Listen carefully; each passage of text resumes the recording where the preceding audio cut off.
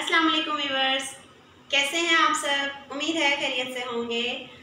आज हम बनाने जा रहे हैं चना पुलाव और चिकन हॉट शॉट।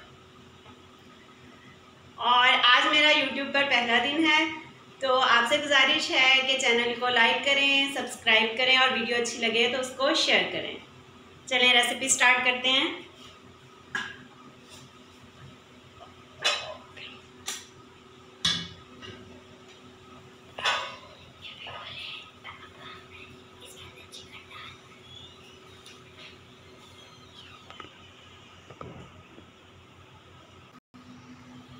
ये अब हम इसमें ऑयल डाल रहे हैं।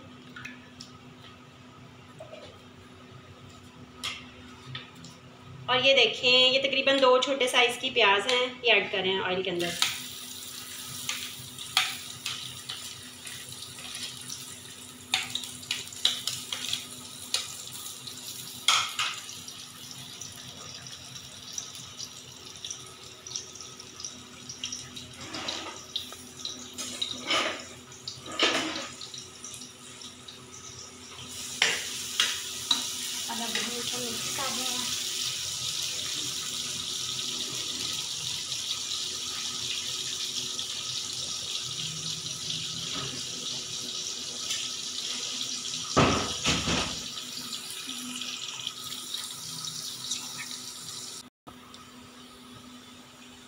ये देखें, ये ये हमने ना चिकन की एक चेस्ट ली है और उसके छोटे छोटे मैंने पीसीस किए हैं और उसको हमने मसाला लगाया और मसाले में ये डाली है पहली सॉस शंगीला की, और ये चिली सॉस डाली है इसके अलावा थोड़ा सा लहसुन अदरक है, काली मिर्च है, नमक है थोड़ा सा चाट मसाला है, और थोड़ी सी दरबर मिर्च डाली है और इसको हमने थोड़ी देर के लिए रख दिया, और तकरीबन हाफ़ के करीब एक हमने इसमें अंडा डाला है।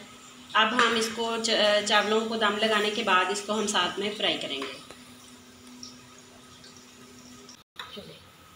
ये देखिए, हमारा प्याज ब्राउन हो गया, इसमें हम पानी डाल हैं और ये लहसुन अदरक का पेस्ट ऐड कर ली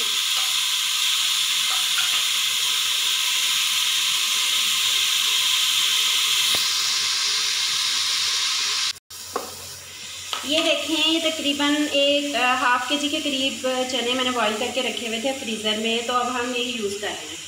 ये भी ऐसे रख सकते हैं इसको। बहुत इजी रह जाता है। जब भी कभी आपको कोई फटाफट कोई चीज़ बनानी हो तो उसमें आप ऐड कर सकते हैं। लाइक दही भले या कोई पुलाव वगैरह बनाया जा सकता है इससे। या चना चाट वगैरह, उसके लिए बिल्कुल ठीक रह जाता है।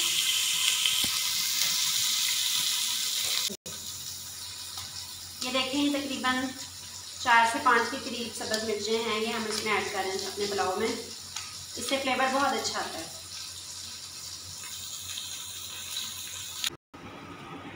ये तकरीबन दो ग्लास के करीब जो है ना, ये हमें चावल भी हुए थे। अब हम इसमें मसाले ऐड कर रहे हैं। ये two and half teaspoon जो है नमक ऐड कर दिया है। ये कुछ धनिया, एक चम्मच।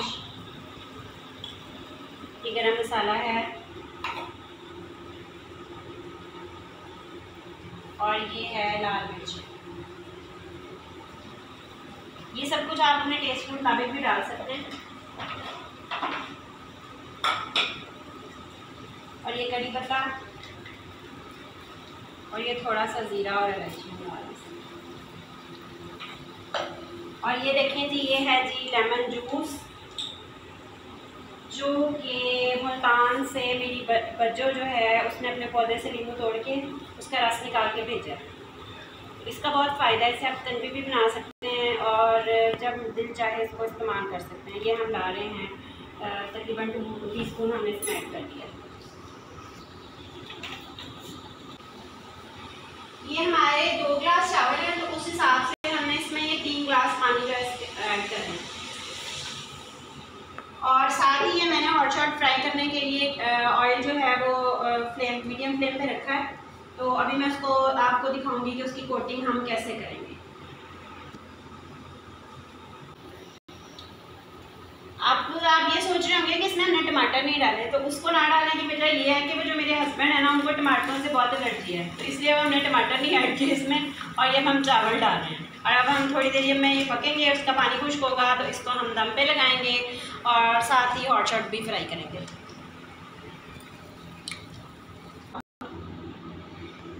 ये देखें जी, ये मैदा है सिंपल इसमें हमें कोई चीज़ नहीं डाली बिल्कुल सादा है और और ये पानी लिया है, अब हम इसकी करेंगे शॉर्ट की कोटिंग। तो कोटिंग के लिए जनाब, सबसे पहले हम कुछ पीसेस ले लेंगे इसके। और ये देखें इस तरह से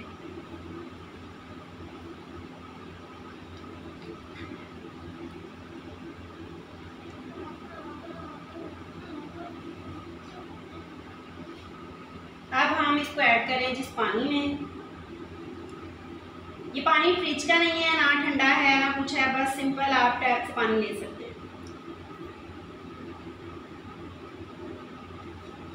ये देखिए, इसमें इस तरह से हम इसको एक दफ़ा डिप करेंगे और उसके बाद इसको ऐसे ही निकाल लेंगे। अब आपने बस इसका क्रंच देखना है कि कितना ज़बरदस्त आएगा। ये हम दोबारा इसमें डाल रहे हैं और उसके बाद आपने हाथों को एक मरतबा से खुशक कर लेना है। और इसकी, इस तरह से देखिए।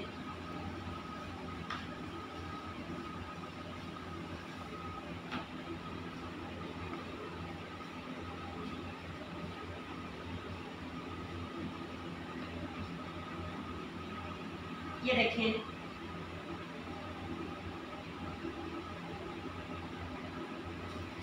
अब हम इसको अपनी कढ़ाई का ऑयल तकरीबन ये देखें गर्म हो चुका है, इसमें ऐड कर दें।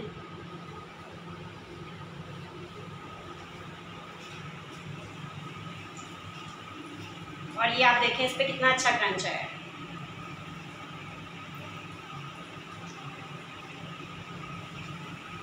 या आपने इसका फ्लेम जो है वो मीडियम कर लेना, वरना क्रंच जो है वो बहुत जल्दी ब्राउन हो जाएगा और चिकन अच्छी तरह से नहीं पक सकेगा।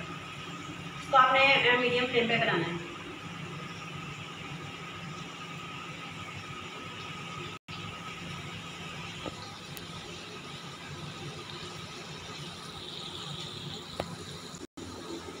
ये देखें जी एक दफ़ा हम इस तरह से इसको दोबारा से छान लेंगे ताकि जो इसके अंदर जो पार्टिकल्स हैं, वो डिस्टर्ब ना करें क्रंच को।